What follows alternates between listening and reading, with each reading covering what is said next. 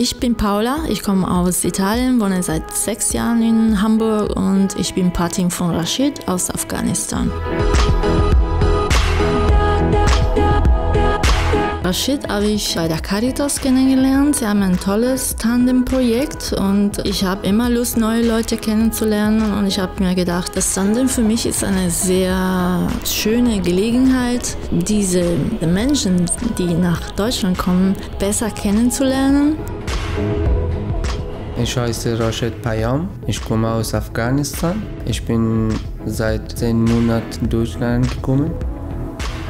Mein Hobby ist äh, Fahrradfahren und Tischtennis spielen und Fotografie mein Hobby ist und mein Job ist.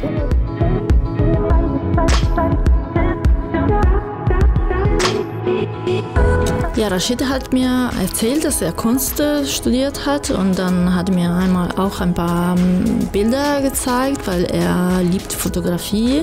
Er hat selber hier ein Fotoapparat und macht sehr gerne Fotografie. Er hat mir auf dem Laptop ein paar Bilder gezeigt von seinem Land. Wenn ich äh, Fragen habe, äh, kann ich Paula fragen. Wir gehen zusammen Ausstellung ich wünsche mir hier mein Kunststudium äh, an der Universität zu Ende machen zu können.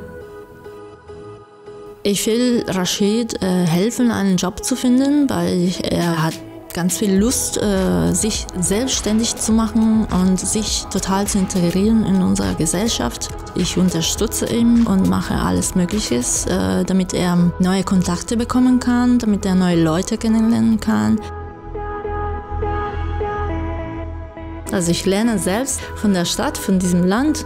Das ist eine sehr nette Gelegenheit. Ich lerne das nicht alleine, sondern mit einem neuen Freund.